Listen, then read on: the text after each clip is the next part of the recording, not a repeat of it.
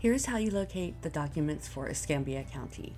Escambia puts all of their documents into one large PDF, and you do need to know the auction date uh, as well as the tax deed number. So I'm going to go here, and the one I'm seeking is uh, was auctioned on March 7th. So I'm going to go here, and then I'm just going to do uh, uh, Control F on this page to look for uh, the number that I need, and it would be in this column. And then to open up the one large PDF, you click on the magnifying glass. And the first thing we're going to look for is the title report, which they call the property information report.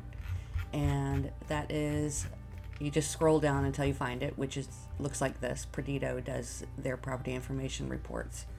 And then for the deed, you're going to look for the owner information, which is here, Viola James, and then the deed is recorded in this book and page number.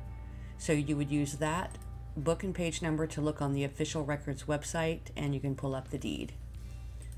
And then next, the notification addresses. Going to scroll back up. Yeah, okay. The notification addresses are past the property information report, and here it is the certificate of notice of mailing, and it has the names and the addresses um, for the persons and entities who have an interest in this uh, property. And then next, the tax deed application. If we scroll down a bit more, notification of application for tax deed.